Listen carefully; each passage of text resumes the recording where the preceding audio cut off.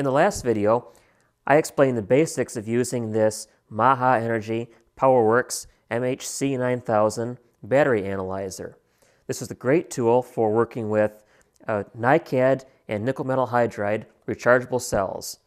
By design, it only accepts AA and AAA size cells.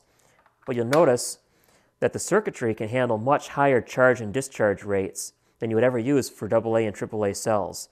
For instance, if I go to charge, I can run this all the way up to 2000 milliamps or 2 amps.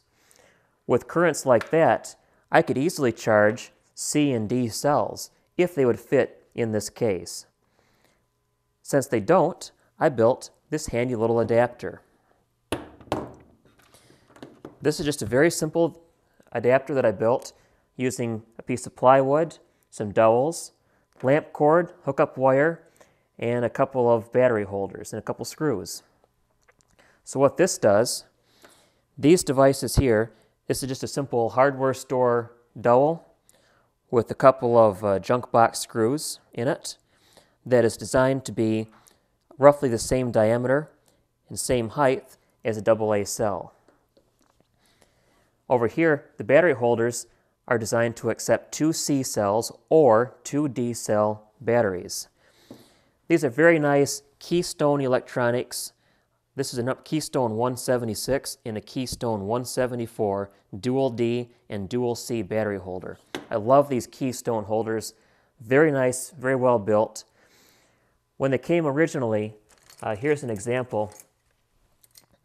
They had these, uh, these metal springs that help hold the battery in place. In this case, I just drilled out those rivets and took those springs off and then screwed the holders right directly to this piece of scrap plywood. So now I can very simply just insert two C cells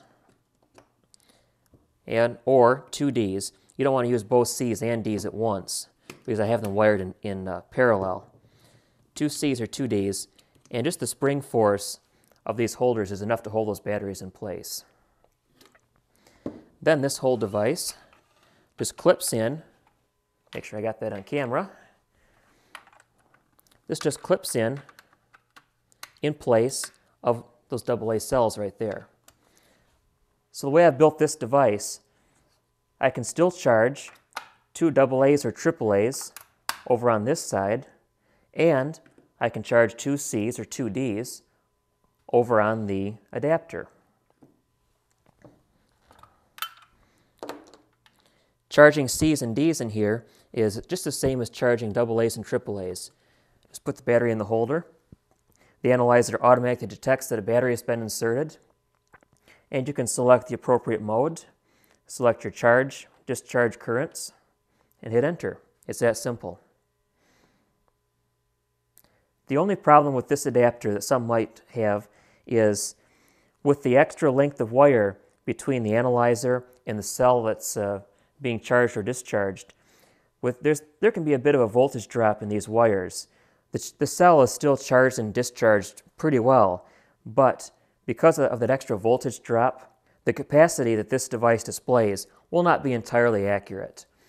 So you can't rely on this to show precise capacity for C's and D's using this adapter because they'll be off just a little bit, but it'll be close and for my purposes, for the average hobbyist or amateur radio operator, it'll be close enough. If you want to be scientific about it, uh, this battery is, has high impedance because it's fully charged. But if you want to be scientific about it, let's discharge this cell and measure the voltage drop. And this will depend on current, of course. So let's put 1 amp discharge current across that cell and we'll measure the voltage drop. So I have my cell being discharged at 1 amp in this device at the far edge of my adapter of my trusty Fluke 27 voltmeter this is hard to do with the camera in the way, but let's see if I can get a good connection at the base of this cell and at the charging contact. We have a voltage drop across that wire of 0.02 volts. Multiply that by 2 for a, a round trip circuit, and you have a voltage drop of 0.04 volts. That's negligible in my opinion, but it will cause the voltage detector in this circuit to cut out a little bit sooner than it would otherwise. It's fine on charging because the delta V charge circuit is not affected, but this will think the battery as at, is at 0.9 volts a little sooner than it actually is. Uh, not a big deal, not a big difference. It's just something to consider if you need really accurate capacity measurements with this adapter. So aside from that little bit of voltage drop, I think this adapter is a good way to charge and discharge C and, D size cells with the Powerex battery analyzer. Hope you enjoyed.